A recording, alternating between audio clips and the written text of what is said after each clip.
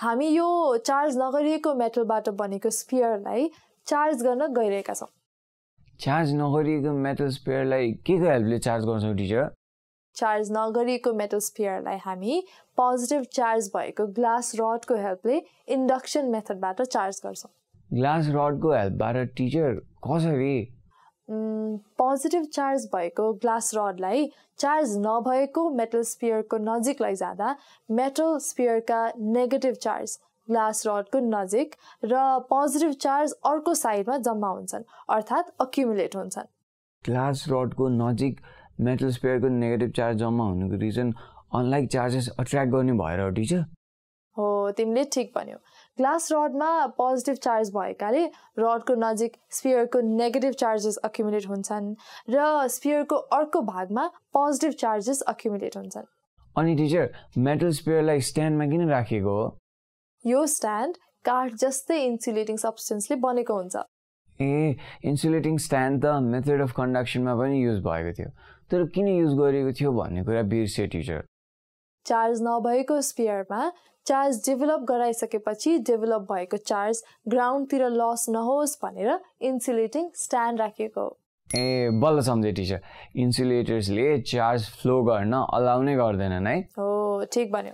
अनि teacher uncharged कन्डक्टरमा negative charge एकतिर र पोजिटिभ चार्ज एकतिर एकुमुलेट भएपछि के हुन्छ? अक्युमुलेट भएपछि के हुन्छ भन्नु अघि तिमीलाई एउटा क्वेसन है त। फेरि क्वेसन तपाईँ पत्रकार हुनुपर्ने मान्छे टिचर हुनुभयो जस्तो छ क्वेसन मात्रै गर्नुहुन्छ। अनि तिमी ज्ञानी विद्यार्थी भनेर मेरो क्वेसनको आन्सर देऊ न त अनि म तिमीलाई एकछिनमा एउटा गिफ्ट पनि दिन्छु। ए त्यसो भए त मिलाइहाल्छु टिचर ल सोध्नुहोस्। तिम्रो प्रश्न यो छ कि पोजिटिभ चार्जेस र नेगेटिभ चार्जेस डिफ्रेन्ट एन्डमा अकुमुलेट हुनुलाई के भनिन्छ? यो एन्सर त थाहा भएन टिचर। सुन पोजिटिभ चार्जेस र नेगेटिभ चार्जेस डिफ्रेन्ट एन्डमा अकुमुलेट हुनुलाई चार्जेस पोलराइज भएको भनिन्छ। In other words, the accumulation of opposite charges in opposite ends is called polarization. ए चार्जेस डिफ्रेन्ट एन्ड्स अर्थात् डिफ्रेन्ट पोल्समा गएका हुनाले पोलराइज भएको भनिएको। हो तिमीले सही भन्यौ।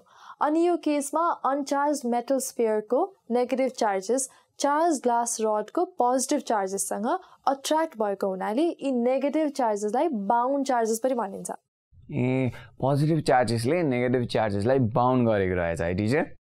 हो नि त्यस्तै अनचार्ज स्पियरको अर्को एन्डमा जम्मा भएका पोजिटिभ चार्जेसलाई फ्री चार्जेस भनिन्छ। वाह! फ्री चार्जेस पैसा नलाग्ने फ्रीमा पाइने चार्जेस नचाहिँदो कुरा गरिहाल्यो है तिमीले। सरी टिचर बााउन्ड चार्जेस र फ्री चार्जेस भनेको पनि बुझेँ टिचर तर यो अनचार्ज स्पेयर कसरी चार्ज हुन्छ बुझिनँ। न त्यो न म भन्दैछु नि। अन्चार्ज स्पेयरमा भएका फ्री चार्जेसलाई अर्थिङ गरेपछि स्पेयरमा नेगेटिभ चार्जेस मात्र बाँकी हुन्छन्। टिचर फेरि यो फ्री चार्जेसलाई अर्थिङ गर्ने भनेको के हो नि? अर्थिङ गर्नु भनेको अनचार्ज कन्डक्टरको एक एन्डलाई कन्डक्टिङ वायरसँग जोडेर नेगेटिभ फ्री चार्जेसलाई अर्थ अर्थात् ग्राउन्डमा फ्लो गराउनु वा अर्थबाट कन्डक्टरतिर इलेक्ट्रोन्स फ्लो गराउनु हो।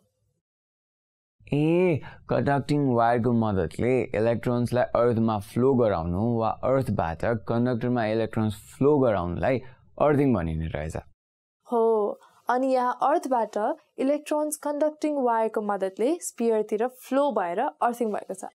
टिचर फ्री चार्जेसलाई अर्थिङ गरेपछि बााउन्ड चार्जेस अर्थात् नेगेटिभ चार्जेस मात्र बाँकी भयो त। राम्रो अब्जर्भेसन गर्यो। नेगेटिभ चार्जेस मात्र बाँकी भएपछि सुरुको चार्ज ग्लास रडलाई रिमुभ गर्दा अनचार्ज स्पियर नेगेटिभली चार्ज हुन्छन्। अनि अनि अनचार्ज कन्डक्टर नेगेटिभली चार्ज भएको भएर यो method charging a conductor negatively by the method of induction हो। Charging a conductor negatively by the method of induction easily बुझेँ।